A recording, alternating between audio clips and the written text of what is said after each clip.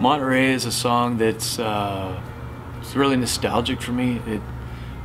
I sat down and this is this is the second song I wrote in ukulele, and just started playing it and and I started thinking about you know high school and in college and and just the friendships back then and it, it's really funny how that I think a lot of us uh, when we're in that time in our life when we're in college or high school we're always wanting something more where we can't wait till next year when we're done school or and I think it's really hard for us at that point in our life to really embrace what we're going through not realizing that those are memories that we're making with our friends that, that we're going to look back on years later and go, man, those are some of the best times of my life. And so that's what this song is all about, is looking back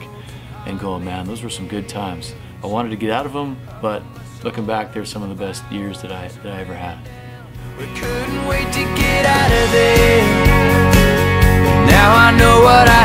Back there